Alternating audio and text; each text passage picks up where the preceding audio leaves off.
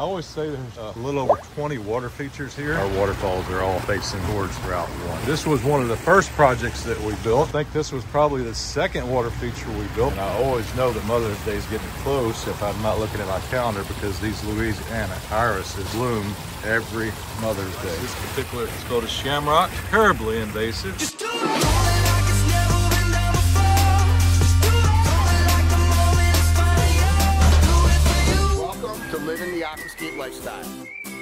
So this is home, huh? This is home. This is Virginia Water Gardens. We've been here for a little over 15 years. 15 years, wow. And it's just like an acre and a half, but you got it filled up, huh? Yes. So the stack slate urns out front. I love all the colors. Look at that. Woohoo! Look at that. There's some customers looking at fish. There's the brains. The beauty and the brains. That's right. It's So fun. All right, and then the shop's back here. So just an acre and a half is all you got. Acre and a half. You have really utilized the space good. Every inch of it.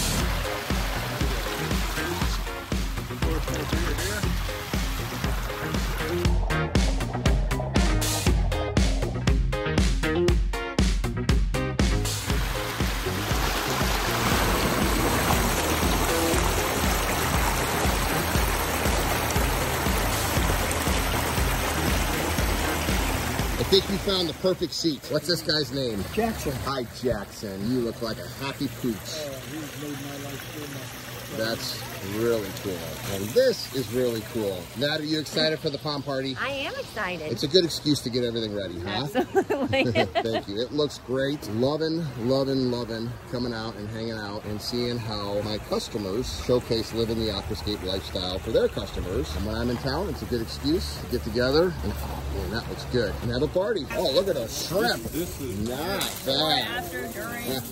Could not get any nicer than this. And my butt is going to be sitting right here next to this aquascape fire rock with my plate of food, enjoying this atmosphere right here. See what I say? I love my job.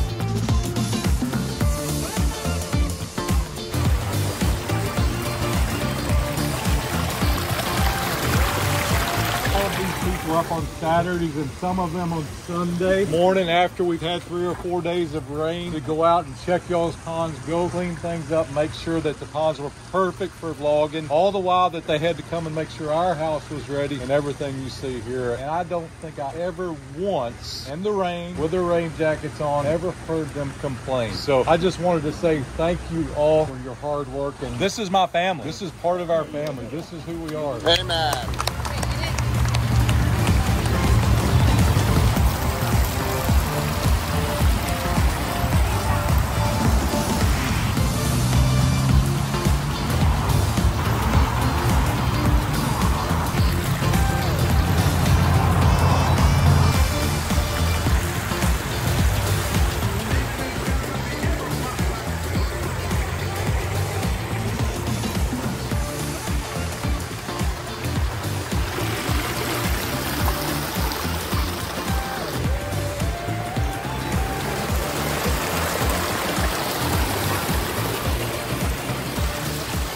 So we're back at Virginia Water Gardens. It is one of the most beautiful design inspiration garden centers that I have ever been able to visit. And uh, last night we were here having a party with all of the people that we got to visit with during the day, and of course Charlie's amazing team. But instead of me going and showing you his paradise, I'm gonna let Charlie walk you around. Plus, I don't like to listen to my self-talk. I'd rather hear the actual entrepreneurs who are living the dream showcase what they do and how they do it. Check out the Virginia Water Gardens Design and Inspiration Center and Retail Store. You've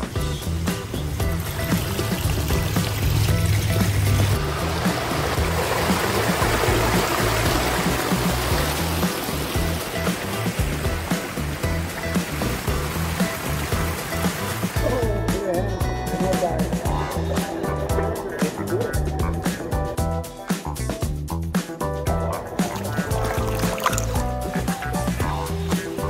the shop before, right, Charlie? Once or twice. So this yeah. is Net's domain. She lets you in every once in a while, This huh? is her domain, and out there is her domain. The truth be known, So it's not actually a very big footprint, but you do a lot of business out of here. It's 900 square feet. We have our showroom here. We have two offices and a restroom.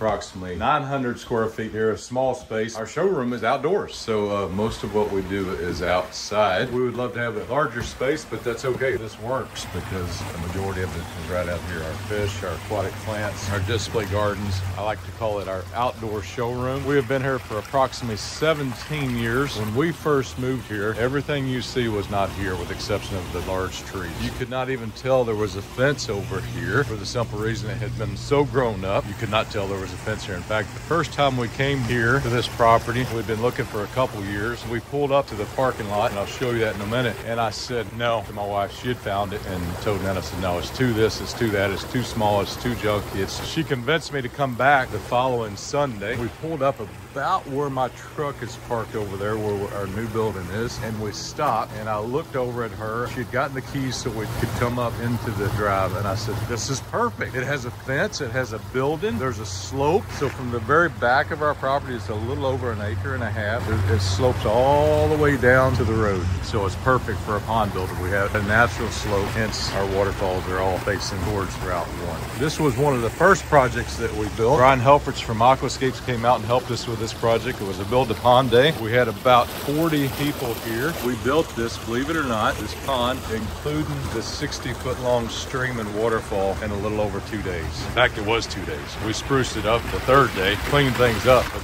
the water was running in two days. One of my favorite waterfalls right there. I don't like all sheet waterfalls. This is natural, like nature has cut, that water has cut through there over time. One of my favorite spots here is where we gather for our meetings. We'll have lunches here as well. This also is where people become mesmerized. So you have that moving water and the sound. I love the deep stream here. This pond has been here in most of the water features. Some of them we have redone over the years, but this particular one has been here for almost 16 years, 17 years. So I always like to say a water feature pond is like a bottle of wine. I'm not a big wine drinker, but I've heard it said that the older it gets, the better it is. The older this water feature gets, the more it matures, the perennials, the plants around it, and that naturalizes it. I think this was probably the second water feature we built. We call this the moat. It's about a fourth of our building. We had a drainage situation. The ground was a lot lower there. So I said, hey, let's build a pond. So that's exactly what we did. Started digging about halfway through. For those of y'all wondering how in the world can you build a pond right up against the foundation of the building,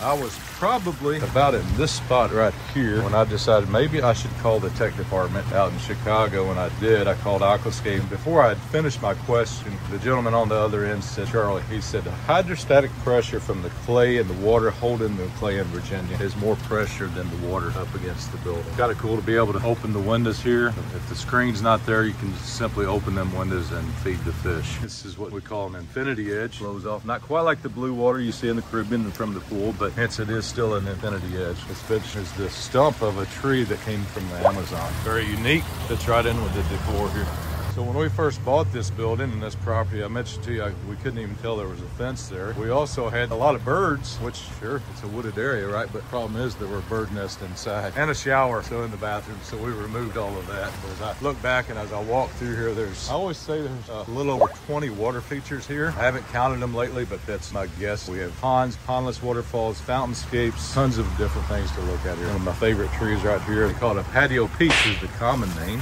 We have small ponds, large ponds. It's May here in Virginia. Mother's Day was just this past Sunday, and I always know that Mother's Day is getting close if I'm not looking at my calendar because these Louisiana irises bloom every Mother's Day.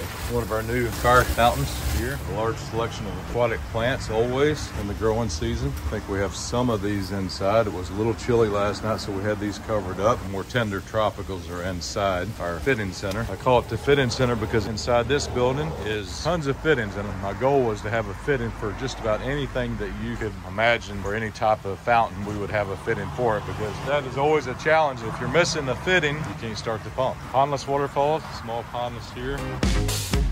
There again, a lot of the aquatic plants are invasive. That's okay. That's why we put them in pots. This particular Scotus shamrock, terribly invasive, but it, I love the way it naturalizes the edge of the pond. I remember hearing Brian Helfrich always say that, and Greg says it as well, is that it's really cool when you cannot see where the edge of the stream or the pond ends or it begins. We have a little over an acre and a half here. We're in Fredericksburg, Virginia, about 38 miles to 40 miles south of our nation's capital, Washington, D.C. You hear a little road noise. I'm down towards the road now. This is a pondless waterfall, and we have another smaller water feature here as well. We're open here year round, with the exception of Christmas. We shut down for about two and a half weeks, come back after the new year, and closed on Sundays, just like Chick-fil-A. I figured if they could do it, I could. Plus, my wife said we weren't going to be open on Sundays, so I said, yes, ma'am. I think it was a good idea, and it was wise. Another patio peach, just a, a different variety, has a crimson color, similar to a red maple.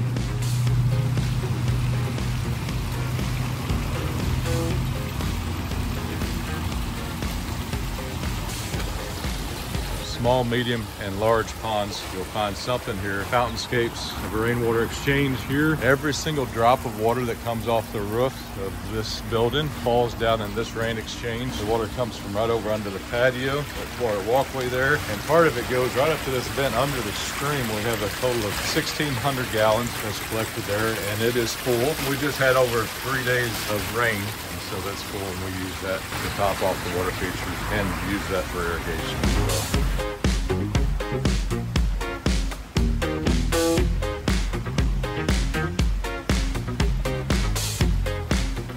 Also have a variety of fish here. We have them your large. These are some 8 to 10 inch. Beautiful koi here. There's some more koi here. Then we have some smaller butterfly koi. Of course, we also have some of the comets and your common goldfish as well.